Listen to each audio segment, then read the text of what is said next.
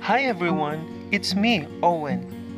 And join me to the creepy adventure to the Diplomat Hotel.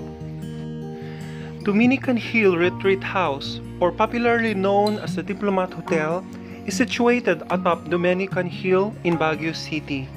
The entire hill is considered as Dominican Heritage Hill and Nature Park. Do you want to know the reasons why Diplomat Hotel is considered to be the creepiest places of the Philippines? So let us see for ourselves. Entering the grounds of Diplomat Hotel, you can see the Ten Commandments monument in front. At the side is a church of Jewish people with menorah and altar inside. By the way, you can access the grounds of Diplomat Hotel by means of public jeepney a taxi, or your own private car. The entire Dominican Hill is considered as Dominican Heritage Hill and Nature Park. Several trees and endemic uh, pine trees and sunflowers grow in this area. Just like the tradition in Paris, France, lovers come here, make a promise, and close their pot. This means exclusivity, loyalty, and the fulfillment of promise. Let's talk about the history.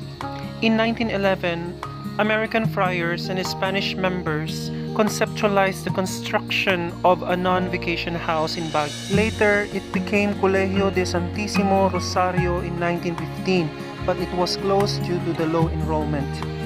For a long time, it served as a religious site and a retreat house being controlled by Dominican sisters.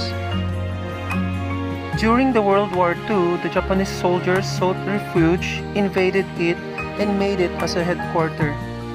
Numerous acts of barbarism were committed by the Japanese, like torture, mass graves, and many other horrible things happened. In the year 1945, American forces bombed the area. However, the Japanese people never surrendered because they committed mass suicide. We can always tell the traces of beauty and antiquity in this area a trace that some sometime in the past this is very luxurious hotel. Diplomat Hotel Incorporated got its ownership in 1973 and made it as a luxurious hotel. And in the year 1990, the strong Luzon earthquake had caused tremendous damage to the lives and the property.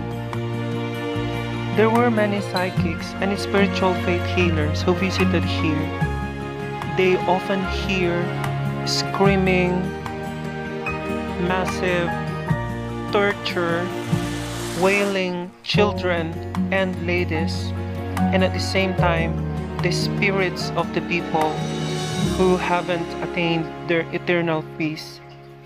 May I ask the future visitors of this place to please offer a prayer for the dead people and at the same time show respect and profound appreciation to this heritage site.